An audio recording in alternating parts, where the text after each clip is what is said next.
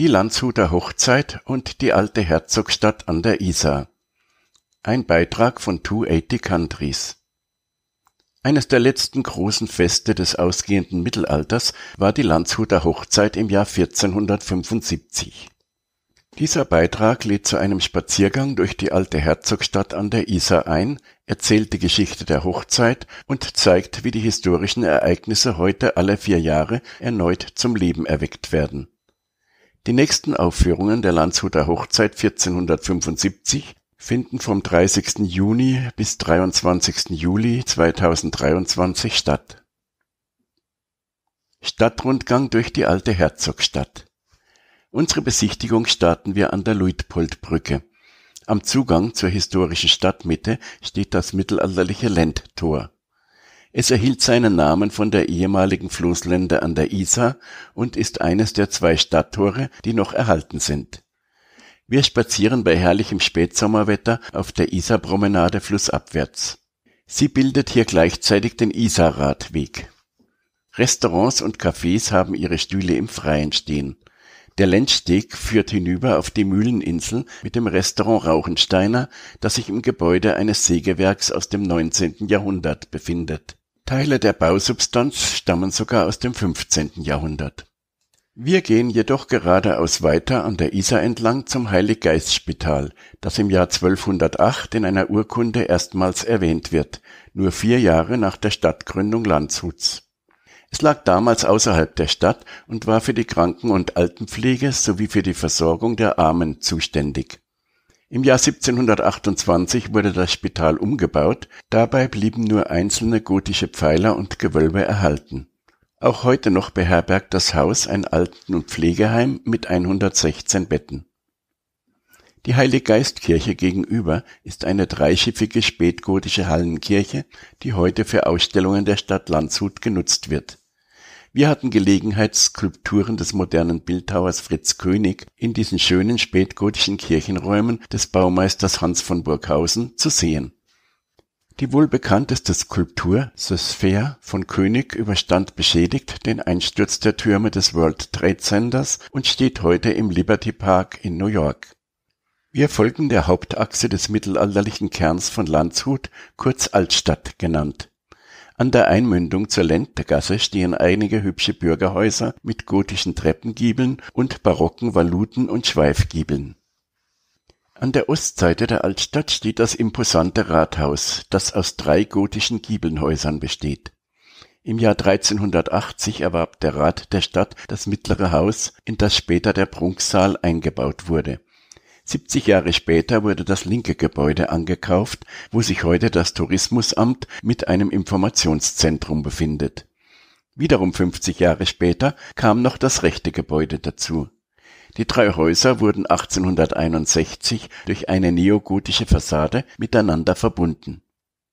Die Stadtresidenz auf der gegenüberliegenden Seite besteht aus zwei architektonisch unterschiedlichen Bauten. Dies ist zum einen der östliche Bauteil zur Altstadt hin, der Deutsche Bau, begonnen von Herzog Ludwig X. im Jahr 1536 und umgestaltet 1780 mit einer frühklassizistischen Fassade Während einer Reise nach Mantua begeisterte sich der Herzog an der Pracht des von Giulio Romano erbauten Palazzo del Te und verpflichtete daraufhin italienische Baumeister für den weiteren Ausbau der Stadtresidenz. Es entstand nun an der Westseite der italienische Bau, der erste Renaissancepalast nördlich der Alpen unter Experten gilt der italienische Bau als ein Hauptwerk der Hochrenaissance und war als solches auch wiederum Vorbild für spätere Palastbauten in Italien. Besonders der bekannte Architekt Andrea Palladio wurde in seinem späten Werk von dem Landshuter Gebäude stark beeinflusst. Im Süden der Altstadt ragt St. Martin empor, die Hauptkirche und das Wahrzeichen Landshuts die hoch- und spätgotische Hallenkirche zählt aufgrund ihrer Ausmaße und ihrer eindrucksvollen Raumwirkung zu den bedeutendsten Sakralbauten Süddeutschlands. Die Höhe des Innenraums mit ihren extrem schlanken Pfeilern, die das Gewölbe tragen, beträgt 29 Meter. Die bedeutendsten Kunstwerke sind eine Madonna von Hans Leinberger aus dem Jahr 1525 und das monumentale Chorbogenkreuz des Ulmer Meisters Erhard, das circa 1495 entstand. In einem Schrein werden die Gebeine des heiligen Castulus aufbewahrt. Bis zum Jahr 1500 wurde an dieser Kirche gebaut. Sie gilt als das Hauptwerk des Meisters Hans von Burghausen um das Jahr 1441 begann man mit dem Bau des höchsten Backsteinturms der Welt mit knapp 130 Metern Höhe. Die Bürgerschaft wollte damit auch den hoch über der Stadt auf der Burg regierenden bayerischen Herzögen baulich Paroli bieten. Die Burg von Landshut Die von weitem sichtbare Burg oberhalb der Altstadt sollte dem Namen nach dem Land Behütung und Schutz gewähren Sie wird erst später ab dem 16. Jahrhundert Trausnitz genannt. Ludwig der Kelheimer, ein wichtiger Herrscher in der Zeit der Kreuzzüge, errichtete diese gewaltige Festung ab dem Jahr 1204. Im Jahr 1235, als Kaiser Friedrich II. zu Gast in Landshut weilte, war die Burg bereits fertiggestellt. In der Folgezeit bildete sie ein Zentrum der Reichspolitik und der staufischen Kultur so weilten mehrere Minnesänger, unter anderem auch Walter von der Vogelweide und Tannhäuser, auf der Burg. Von 1255 bis 1503 war die Burg Regierungssitz der Wittelsbacher Herzöge von Niederbayern. Besonders unter den reichen Herzögen von Bayern-Landshut erfuhr sie im 15. Jahrhundert zahlreiche Um und Erweiterungsbauten so entstand der Fürstenbau und die neue Dürnitz, die Ringmauern wurden erhöht und erweitert sowie die markanten Wehrtürme errichtet. Herzog Ludwig X. von Bayern stattete im 16. Jahrhundert Burg Trausnitz im Stil der Renaissance aus. Herzog Wilhelm V. scharrte hier von 1568 bis 1579 eine große Zahl bedeutender Künstler, Musiker und Komödianten um sich Später entsprach die Anlage nicht mehr dem Zeitgeschmack. Sie wurde im 18. Jahrhundert Kaserne und Gefängnis, dann wurde eine Wollzeug- und Seidenmanufaktur eingerichtet, ab 1831 gar ein Cholera-Hospital. Im Jahr 1869 wurden im zweiten Obergeschoss des Fürstenbaus einige Zimmer für König Ludwig II. umgestaltet, die er jedoch nie benutzt hat am 21. Oktober 1961, früh um vier Uhr, bricht im Fürstenbau Feuer aus, das sich schnell ausbreitet. Das Innere des Fürstenbaus stürzt brennend ein und der St. Georgs Rittersaal über der Kapelle brennt aus. Schuld war ein nicht ausgeschalteter Tauchsieder. Heute ist der Fürstentrakt wieder aufgebaut. Einige Kunstschätze und wertvolle Fresken sind jedoch unwiederbringlich verloren die Landshuter Hochzeit Im Vierjahresturnus wird die Landshuter Hochzeit gefeiert, die Ludwig der Reiche zur Vermählung seines Sohnes Georg mit der polnischen Königstochter Hedwig im Jahr 1475 ausrichtete. Weit über 2000 Mitwirkende lassen in originalgetreuen Kostümen dieses herausragende Fest mit der ganzen Pracht des späten Mittelalters in unserer Zeit wieder aufleben die nächste Veranstaltung findet im Sommer 2023 statt.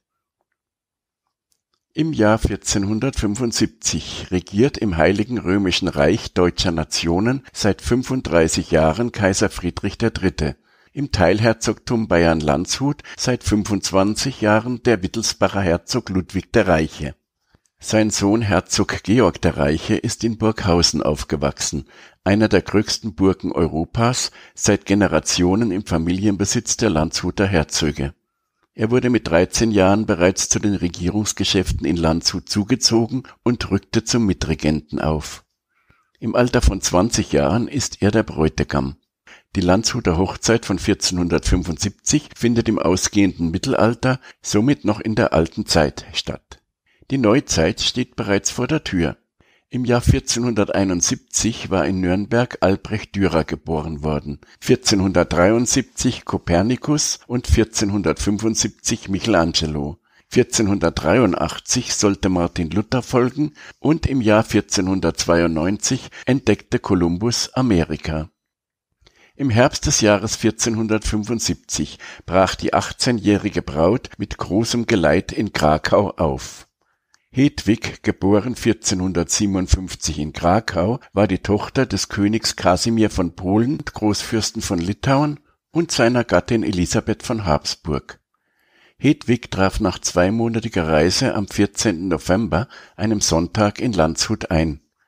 Zu beiden Seiten von deutschen und polnischen Fürsten in prunkvollen Gewändern begleitet und angekündigt von über 100 Trompetern und Paukern wurde die Braut in die Stadt zur Martinskirche geleitet. Es wird berichtet, dass damals 10.000 Gäste bei dieser Hochzeit anwesend waren. Auch heutzutage lockt das Fest viele Zuschauer nach Landshut. In den Jahren, an denen die Landshuter Hochzeit gefeiert wird, findet an vier Sonntagen im Juli der große Festzug statt er startet am Festplatz an der Isar, führt über den Dreifaltigkeitsplatz zur Altstadt, dann um die Heilig-Geist-Kirche herum über die Neustadt bis zur Jesuitenkirche und von dort auf dem gleichen Weg wieder zurück zum Festplatz. Wir suchen einen guten Platz in der Neustadt, um den Hochzeitszug gut verfolgen zu können. Angeführt wird der Zug von den Stadtknechten mit ihren blumengeschmückten Hellebarden, gefolgt von den Stadtpfeifern, einer Kinderschar mit Betreuerinnen und Bürgerpaaren aus der Stadt. Die Musikgruppe Zinknisten und Posaunisten marschieren vor den Gesandten der Reichsstädte Regensburg, Nürnberg, Ulm, Nördlingen, Dinkelsbühl, Augsburg, Donauwörth, Frankfurt und der herzoglichen Stadt Straubing mit ihren jeweiligen Standarten. Sie waren auch im Jahr 1475 vom Herzog eingeladen dem Rat der Stadt Landshut mit dem Kämmerer, dem Stadtschreiber und den Ratsherren fährt ein Trosswagen mit Stadtknechten voraus, gefolgt von einem Vorreiter mit der Stadtstandarte von Landshut, die drei blaue Helme auf silbernem Grund zeigt. Den Ratsherren folgt das Ratsgesinde, Mägde, Knechte und Torwächter sowie eine Abordnung der Zünfte der Stadt, die Standarten mit ihrem Zunftzeichen tragen die Pfeifer des Pfalzgrafen Philipp von Amberg reihen sich vor der Armbrustschützengilde Trausnitzer Fähndlein und den Marketenterinnen auf ihren Wagen ein. Ein schönes Bild geben die Fahnenschwinger mit ihren bunten Schwungfahnen in dieser mittelalterlichen Kulisse ab. Es folgen die Brandenburger, die bei der historischen Hochzeit eine wichtige Rolle gespielt haben Markgraf Albrecht Achilles, Kurfürst von Brandenburg, fungierte bei der Hochzeit als Hofmeister und glänzte durch Reden und Organisationstalent. Er führte zusammen mit seiner Gemahlin Anna, Tochter des Kurfürsten Friedrich der Sanftmütige von Sachsen und Schwester der Landshuter Herzogin Amalie, nicht weniger als 1370 Pferde mit sich, fast seinen ganzen Hofstaat und eine Gruppe von über 100 schmucken Edelfräulein diese Delegation schließen sich im Festzug Fürsten, Grafen und Edelleute aus Sachsen, Franken, der Pfalz, Württemberg, Österreich und Bayern mit ihren jeweiligen Standarten an. Hier stach im Jahr 1475 Graf Ulrich der Vielgeliebte von Württemberg hervor. Seine verstorbene Frau Elisabeth von Bayern war eine Schwester des Landshuter Herzogs Ludwig der Reiche gewesen Ihr gemeinsamer Sohn Graf Eberhard VI. hatte die Tochter von Markgraf Albrecht von Brandenburg geheiratet. Die Württemberger führten 582 Pferde mit sich. Businenbläser mit ihren langgestreckten Trompeten laufen vor dem Reisewagen von Margarete, der Kurfürstenwitwe von Sachsen, geborene Herzogin von Österreich und Großmutter des Bräutigams die Alte von Sachsen und ihre Enkelin Christine, Tochter des Kurfürsten Ernst von Sachsen, reisten damals mit 385 Pferden. Es folgten kaiserliche Trompeter und Pauker und Bannerträger hoch zu Pferde und Kronen- und Schwertträger. Sie kündigten den damals ranghöchsten Gast an, Kaiser Friedrich III. von Habsburg reitet neben seinem Sohn Herzog Maximilian, später genannt der letzte Ritter, verwandt mit Bräutigam und Braut der von der Geschichtsschreibung vielgeschmähte Kaiser gab sich beim Fest gesellig. Er führte die Braut zum ersten Tanz, obwohl er zuvor beteuert hatte, zum Tanzen sei er schon ein zu alter Gesell. Der Kaiser war in Begleitung von 600 Personen, Grafen, Herren, Musikanten und Bedienstete, darunter Herzog Siegmund von Tirol, der Vetter des Kaisers, und Markgraf Albrecht von Baden, die beide 250 Pferde dabei hatten Herzog Johann von Neumarkt und sein Bruder Pfalzgraf Philipp mit seiner Frau Margarete, einer Schwester des Bräutigams, waren gern gesehene Gäste. Ihre Hochzeit war erst im Jahr 1474 in Amberg festlich begangen worden. Die drei Brüder Herzog Albrecht der Weise, Wolfgang und Herzog Christoph der Starke kamen mit getrenntem Gefolge mit 609 Pferden aus München zur Landshuter Hochzeit Albrecht bildete mit seinem Gefolge ein Spalier beim Einzug der Braut vor der Stadt. Albrecht und Christoph konnten auch bei diesem Fest ihre heftige Rivalität um die Herrschaft in München nicht verbergen, und so ritt Christoph weiter hinten im Zug. Es folgen nur nach den Salzburger Trompetern die geistlichen Herren der Erzbischof Bernhard von Salzburg, der Bischof vom Chiemsee, der Propst von Berchtesgaden, die Bischöfe von Bamberg, Eichstätt, Augsburg, Freising und Passau und viele Äbte und Ordensleute. Der berittene Herold des Herzogs und die herzoglichen Wachen mit Standartenträgern kündigen nun den Gastgeber Herzog Ludwig der Reiche von Bayern-Landshut an er wird in einer Sänfte getragen und von seinem Kanzler, dem Leibarzt, den Hofbeamten, Schwertträgern, Falknern und einer Garde in Rüstung mit Aalspießen bewaffnet begleitet. Auch der Hofnarr darf hier nicht fehlen. Nun folgen die Akteure des Ritterspiels, allen voran Herzog Christoph der Starke, der sich beim Turnier besonders hervortat. Dazu edle Herren im Harnisch zu Pferd und der Turniervogt, begleitet von Knappen und Lanzenträgern. Die Landshuter Hofkapelle spielt auf, gefolgt von Herzogin Amalie im Reisewagen begleitet von Hofmeister und Edeldamen, Pagenmeister und Pagen und Junker mit Damen. Den Abschluss der Landshuter Abteilung im Festzug bilden Fahnenschwinger mit Wurffahnen. Die königlich polnischen Trompeter kündigen die Braut und ihre Begleitung an, einen Junker mit Obristen zu Pferd, edle Herren und die polnische Hofmeisterin mit den Hofdamen der Bräutigam, Herzog Georg der Reiche, reitet neben dem goldenen Prunkwagen mit Hedwig, der Braut, gefolgt von lichtertragenden Pagen, dem Hofmeister, dem Marschall, polnischen Leibjägern, polnischem Adel zu Pferd, dem Reisewagen mit Begleiterinnen der Braut und dem Brautgutwagen unter Aufsicht von Thomas Drinczynski. Der Vizeschatzmeister des Königs führt das Aussteuerverzeichnis der Braut mit nach Ringelstecher und Feuerkopfreitern bildet die herzogliche Hofküche und Schenke, Trommler und Pfeifer und ein Trosswagen mit Marketenderinnen, Reisige mit Hetmann, Moriskentänzer, Komödianten mit ihren Wagen und fahrendes Volk den Abschluss dieses langen Festzuges. Die weiteren Geschehnisse auf der Landshuter Hochzeit im Jahr 1475 Das Brautpaar wurde vom Salzburger Erzbischof Bernhard von Rohr getraut Anschließend führte der Brautzug durch die Altstadt zum Rathaus. Dort geleitete Kaiser Friedrich III. die Braut am Abend zum ersten Tanz, ehe man die Brautleute unter der Zeugenschaft der Fürsten in einem angrenzenden Zimmer zum Beilager zusammenlegte.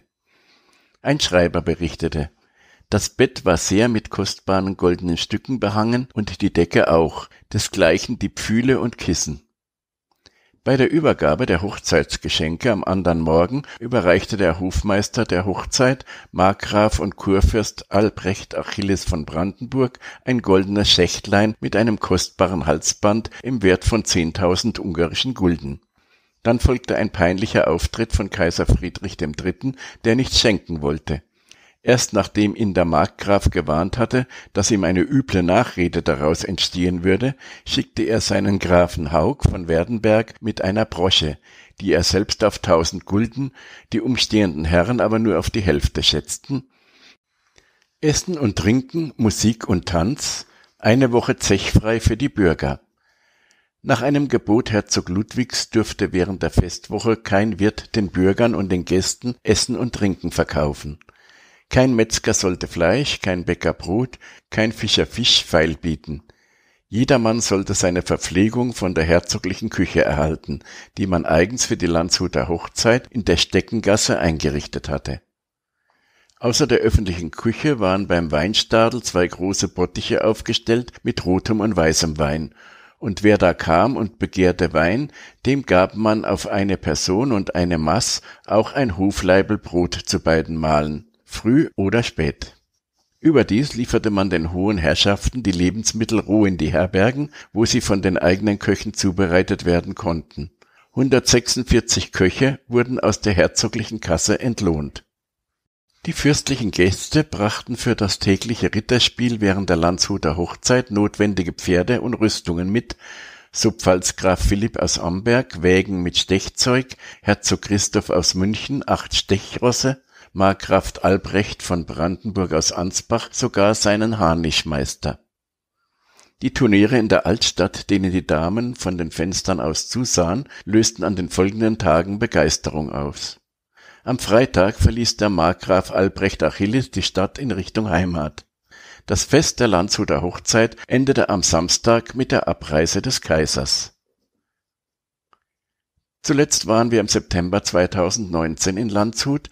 Ich reiste mit meiner Frau und wir übernachteten im Boardinghaus Landshut am St. Wolfgangplatz. Es gibt auf meiner Website und auch hier auf YouTube einen interessanten Bericht über die Zweitresidenz der reichen Herzöge. Burghausen mit der längsten mittelalterlichen Festung. Dies war ein Beitrag der Reisewebsite 280countries.com. Schauen Sie auch auf meine Website mit den Fotos zu dieser Reise und dem Serviceteil, wie immer mit den Möglichkeiten und Kosten der Anreise, der Unterkunft und mit den Eintrittspreisen vor Ort. Im Inhaltsverzeichnis finden Sie mehr als 160 Reisebeiträge aus aller Welt. Vielen Dank für Ihr Interesse und auf Wiederhören.